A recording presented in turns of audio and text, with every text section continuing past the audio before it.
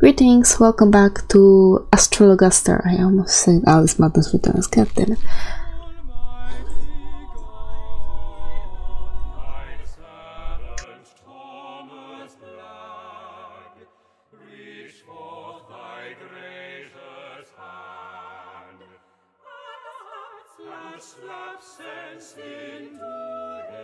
Oh, please do slap some sense into him. Good morrow, Dean Blagg. How fare you this day? Well, Dr. Forman, I must own that I do not fare well. For my recent investments have left me in a rather vexing financial position. Verily, that is ill to hear.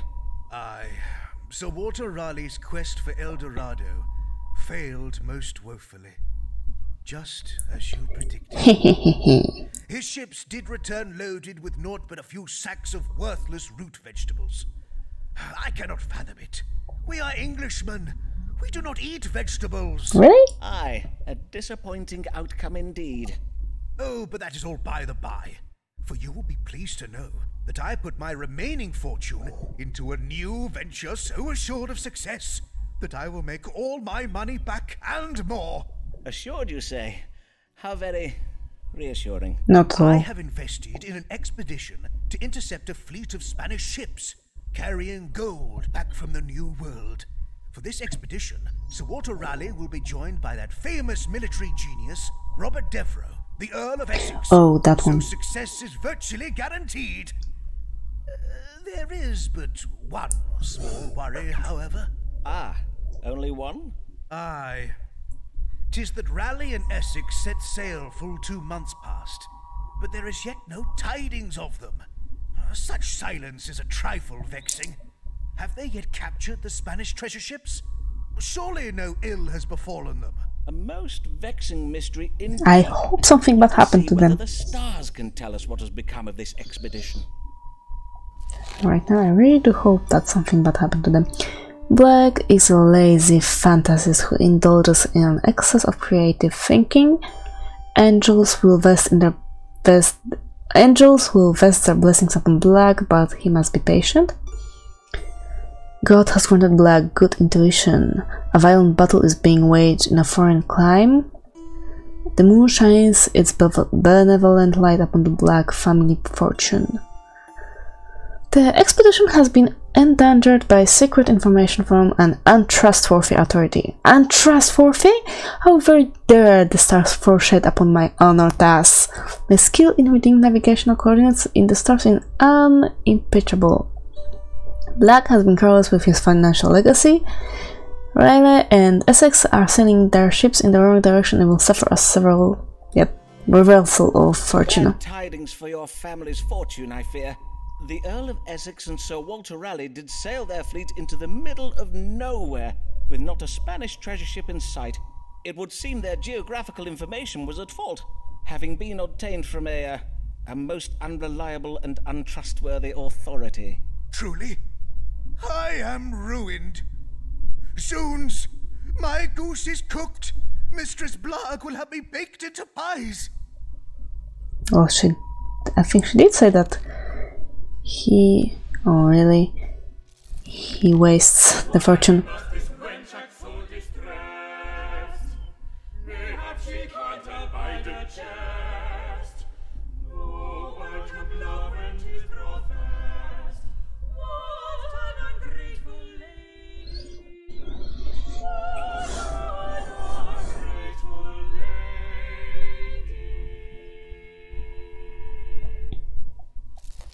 Day, Mistress Lanier. Uh, Pray come in and take comfort by the fire. The wind is fierce and cold this day. Did you see him this time, Dr. Forman? Who? He did it again. He ran off the moment he Oh. saw me. See who, madam?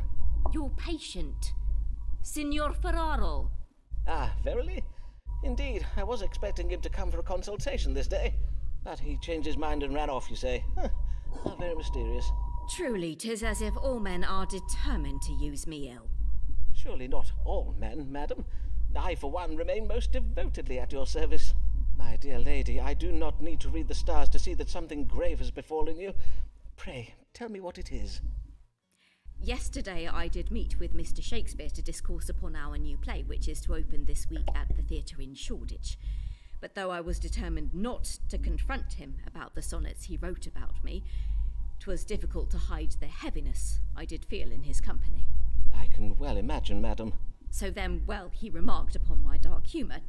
To wit, he said to me, Emilia, your pretty brow does furrow, so I will kiss it smooth. And I sense that you did not receive this well? Indeed, I did not. Forsooth, I was so enraged by this, I. I reversed my flagon of ale full over his head. Ah, Whereon he rose from his stool, declaring I was the most ungrateful and unworthy wench in all of Christendom, and then he flew out of the tavern like. like a bat from out the gates of hell. a most vivid image, and no doubt most apt. Men who work in playhouses are prone to indulging in such melodrama, of course. Why so many ladies care for such men in preference of those employed in solid, stable professions, I shall never understand. And if only that were all. For this morning I saw a bill advertising our play posted on a wall in my street. It bears his name and not mine. Verily? Oh, surely not. Mayhap there has been some error made. Nay, Dr. Forman, tis no error, for I rushed to the theatre to see what was amiss, but I was refused admittance. Indeed, the player who came to the door denied all knowledge of my collaboration on the play. Methinks Mr. Shakespeare is exacting his petty vengeance upon me for rejecting his sly suit by denying me credit for my work. And he means to deal with me by pretending I do not exist, as if I were a ghost. Or is it he who has become the ghost? In truth, I am not yet sure how that metaphor should work. What monstrous perfidy! Pray tell me what I might do to punish this wretched scribbler. Though I am not adept with a sword, I do have a book that instructs in how to command nefarious spirits. Oh, prithee, sir, I am come not in search of vengeance, but to seek answers. As you know, I have been ill treated by my husband, and now I am betrayed by Mr. Shakespeare. Pray, read the stars and answer me this, Dr. Forman. Will I ever be able to trust, even love, a man again? It depends, I guess. Your choices so far were pretty poor. Oh my god. Emilia secretly wishes to commit adultery with a man of high intelligence. Emilia's friends have been unworthy of her confidence. Emilia should give in to her true feelings. God rewards men who invest time in their friendship with comely, comely women. The relationship betwixt Emilia and me is currently wrought by confusion. No, oh my god, I didn't. Emilia's literary legacy has been betrayed by Mr. Shakespeare. Mistress Lanier is ignorant of the love she inspires, but her ignorance will be reversed. Emilia's present adversity may bring change and new life in the form of a child. Let's try that.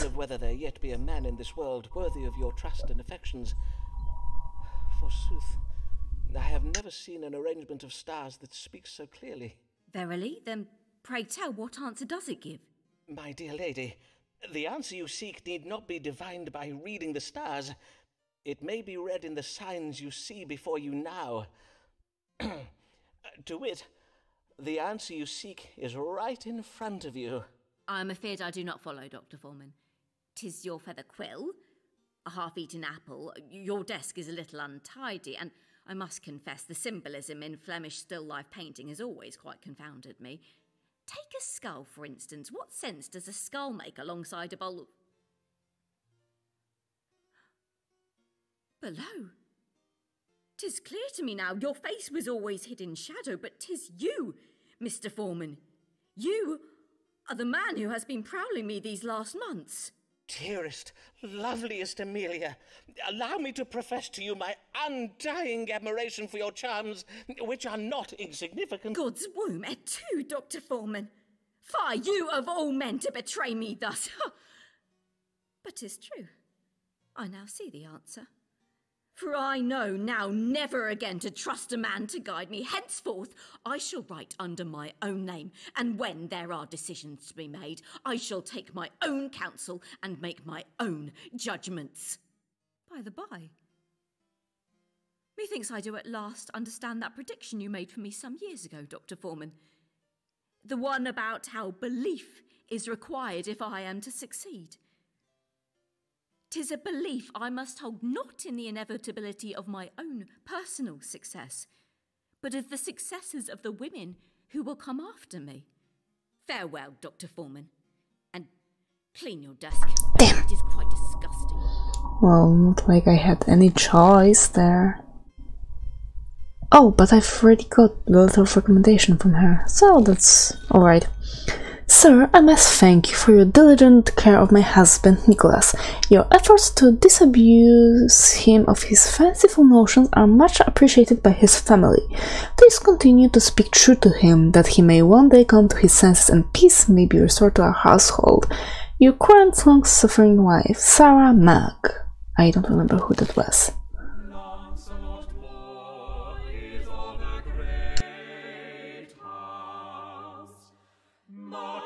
Depend, much, on his choice of a spouse. He must be, must be well, to consecrate wealth, no matter the cost to love and to health. Hello, Mr. Lancelot. Good day to you, young sir, and well met. You are Lancelot Moore of Middlesex, are you not? What an honour it is to welcome a son of the great house of Moore to my humble consulting chambers. Tis indeed I, Lancelot Moore. I will own it. But hear this. My family is ignorant of my designs in coming here, and I wish them to remain so. Which is why I come to you, Mr. Forman. For methinks you are not such a man who would ever find himself in the company of a family such as ours.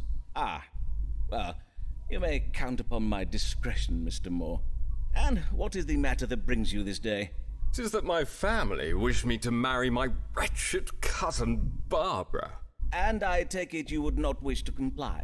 Nay, I verily would not. Cousin Barbara is a vile little minx. She loves nothing more than to sport with me and play cruel japes.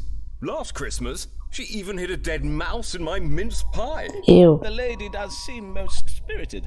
The lady? Oh, pish! Cousin Barbara is hardly a lady, for she is not fourteen years of age. It is most unnatural to ask a grown man to wed a child. Indeed it is.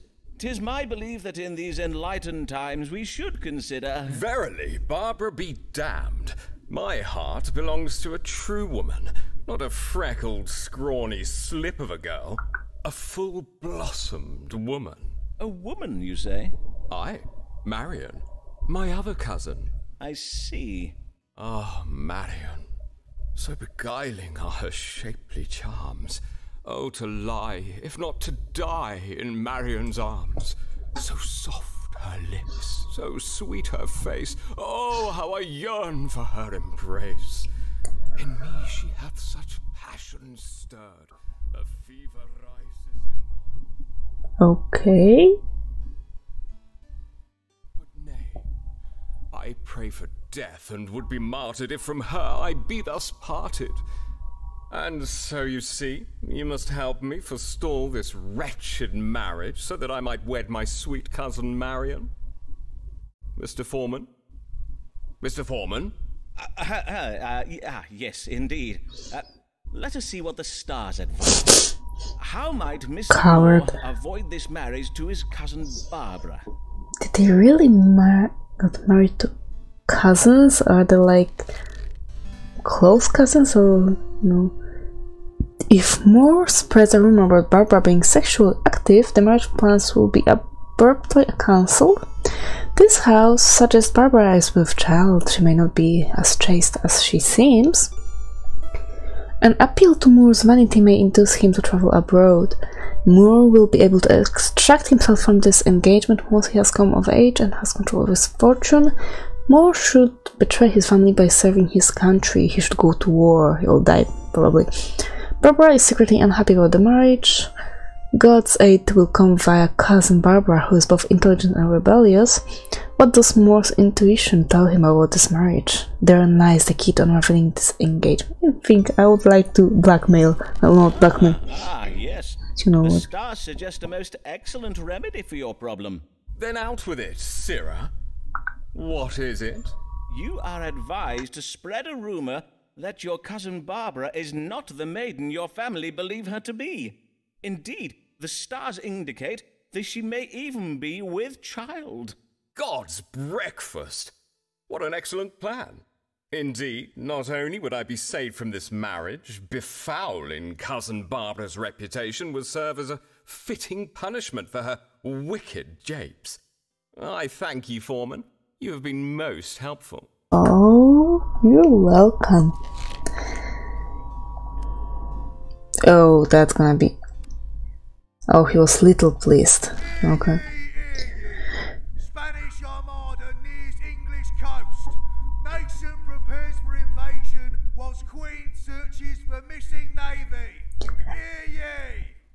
As Spanish ships near our shores, the Queen's Grand Troops prepare for what promises to be a blood-soaked slaughter of Englishmen by continental Catholic savages.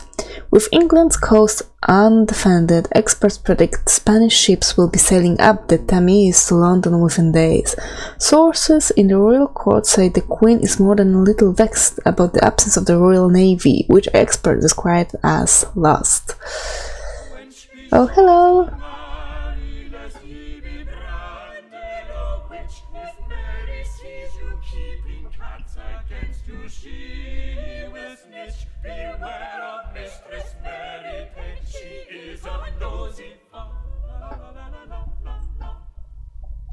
Blessed even, Dr. Forman. Mistress Payne, what brings you in such weather? 'Tis most dangerous to be about in it. Oh, it takes more than a little wind and rain to forestall me from doing the Lord's work. Besides, foul weather is naught but God's righteous vengeance upon London for the sinful debauchery of its inhabitants. Verily? Then I dread to think what northerners get up to of an evening. Pray heed me carefully, Dr. Forman, for 'tis on a most pressing matter that I am come. Doubtless you have heard the news. The Spanish Armada does sail once again towards England's shores. It seems this latest Armada was most unexpected. Well, as 'tis oft said, no one expects the Spanish Armada. 'Tis very grave this time, for I have heard tell that our own warships are far away at sea, and with our coasts undefended, a Catholic horde may soon be sailing up the Thames to slay us all. Aye, our situation is most grave indeed. But what would you have me tell you, Mistress Payne? I wish to know whether the English fleet will arrive home in time to defend our shores, or might we ordinary folk be compelled to take up arms to defend ourselves? Dr. I don't know. No, I don't know. the feet of the Catholics No. what may. Am I ready to beat off the. Uh, prithee, madam, let us pray the need never arises. Uh, perchance the stars will offer us some reassurance. Will the Royal Naval Fleet return home in time to defend England from the Spanish Armada? Can't stars say that they don't know? The Royal Navy is absent due to reckless and misguided pursuit of gold. Ambitions will be thwarted by confusion. Unpleasantness will result from a cunning plan to steal goods. Yeah, definitely this one. Mistress Payne must rouse her neighbors to take up arms. The authorities cannot be trusted to uphold their duty to defend ordinary Englanders. Catholic evil angels will have their plans. Well, Catholic evil angels will have their plans thwarted by a deadly unpredictable event. The Spanish fleet will be delayed due to idleness of their sailors. This one. Know you of Robert Devereux, the Earl of Essex? Or of Sir Walter Raleigh, perchance? Oh, young Lord Devereux, such a talented young man. My niece is especially taken with him. Well, it would seem the pair did take the royal fleet on an expedition to intercept and seize gold being transported back to Spain from the New World. But their plan went awry, and now they are lost at sea. I am afeard that, short of a miracle, a Spanish invasion is indeed imminent. Her Majesty would risk her realm and the lives of her subjects for the sake of gold. No. Then our present danger does not surprise me. England's downfall will be God's punishment for our Queen's greed and avarice. Uh, To be fair to Her Majesty, I do not imagine she gave Devereux and Raleigh permission to. Oh, my days! With the Spanish invasion nigh, I know not how to calm my anxious passions. Methinks I shall take to bed with Paul and Matthew this evening. My what? Uh, oh, yes, I see. The Book of Paul and the Book of Matthew. Oh, okay. clearly. Uh, Holy Scripture does give great comfort to a distressed mind. Uh, God keep ye well, Mistress Payne. I hope she meant the book. Sir, I must express my displeasure with you, for I am exceeding vexed. You advised me to pu- put it about that my cousin had lost her virtue, and whilst this did spare me the inconvenience of having to marry her, my aunt and uncle are now calling me a lying knave, among other egregious insults I shall not list here. And now that my cousin cannot marry and will thus be forever an idle spinster, she has vowed to dedicate her life to destroying mine. Snitches get leeches in their breeches is but one of the many threats she has made against my person. I hope you're happy with the mischief you have wrought, Forman. You're exceeding vexed current. Lancelot Morsk. Letter of oh, no, okay.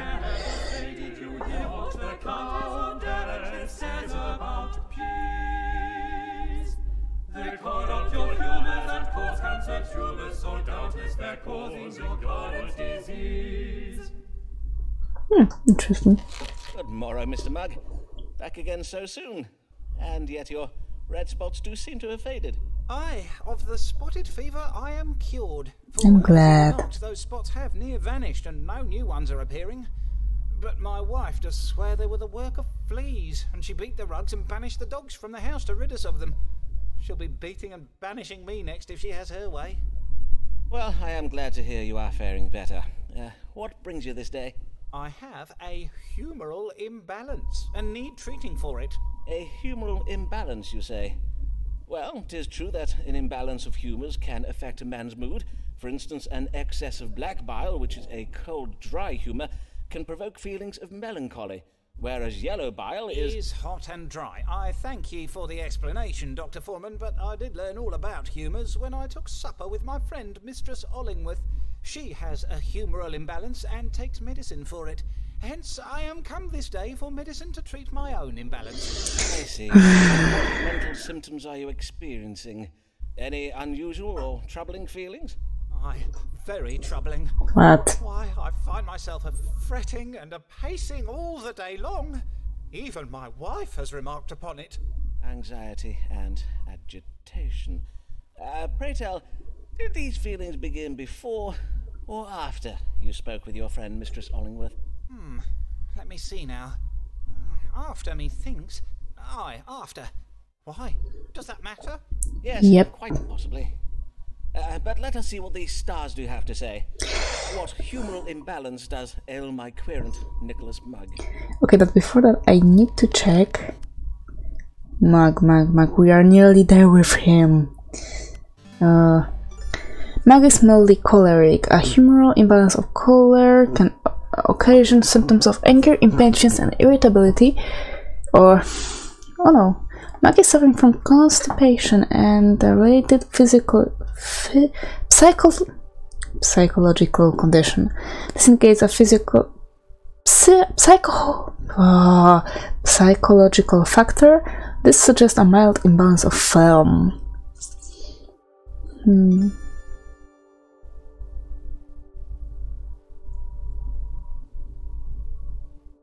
Yeah, I'll do that.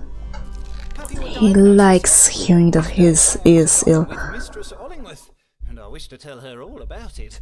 Aye, 'tis done. You have a choleric temperament, brought on by a minor imbalance of yellow bile. It does often induce feelings of irritability and impatience in the sufferer, and in severe cases, it can provoke outbursts of anger. I see. How verily interesting. We must counter the excess of this hot, dry humour with wet and cooling elements. Uh, take this powder of violets and salt and boil it in some water. Then you must drink the infusion once it is cooled. I thank ye for this medicine, Dr. Forman. You're welcome. But may I trouble you for twice the dose of it? For if the symptoms be what you say, I think my wife had best be taking it as well. I thank you, wife. Is done with you, and so am I. Thank you very much. Oh no. Oh,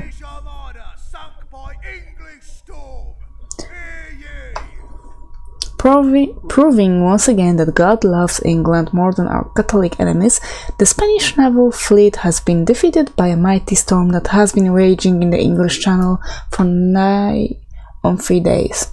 What remains of the Armada has fled back to Spain. Beachcombers are advised to wait for the storm to abate before looting corpses that have washed ashore.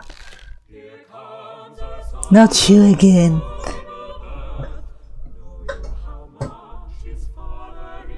I don't care.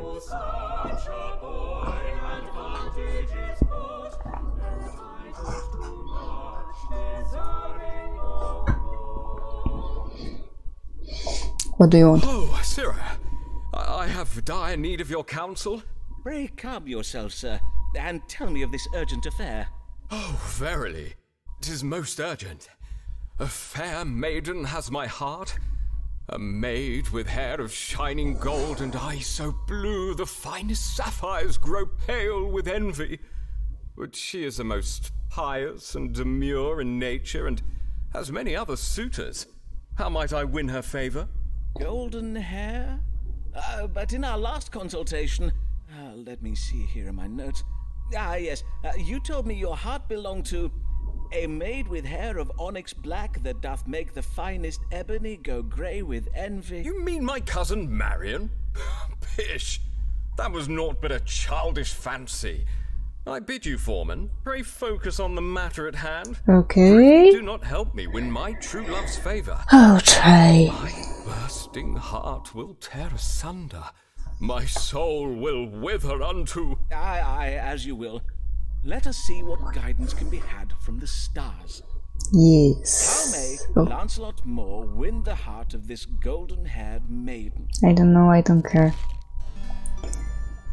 A sudden religious conversation is strongly advised. Moore's hope will be realized, but he must be self-disciplined and- and patient. I think this is the one we should go. The maid's secret nature is hidden beneath a veil of false religious fa- favor. It would appear that Moore has a brutish nature. Moore may win the lady's hand in marriage with jewelry and fine things. Moore should lie about the size of his fortune, a trifling task for such an oversourced vehicle. The maid's father has a deceitful business partner. I will go with this one. It would seem the lady is a modest and pious maid, for the stars urge you to exercise patience and restraint. Although your rivals be fierce, your sword must remain in its sheath, if you take my meaning. Oh, Keep my sword sheathed? Oh, oh, you think I do verily use my sword to fight with? Oh, ye gods, no. The sword I wear is purely ornamental. If you paid more attention to the current fashion, you would know that, Forman. you take no hint. Oh, never mind. What I mean to say is that your attack on the maid's heart must be spiritual. Have you considered converting to Puritanism? Only temporarily, of course. God's teeth! The heavens advise me to become a Puritan? In truth, this is ill to hear, uh, for black is not a becoming colour on my person. Still, the stars do speak truth about my love, for she does oft prattle on about sin and hellfire. Good day to you, Forman. I must go at once You're to welcome. my tailor to be fitted for the latest and most loathsome Puritan fashions. Did it work? Was little pleased for with me. Okay. And that's gonna be it for today. Thank you very much. Stay alive and see you soon.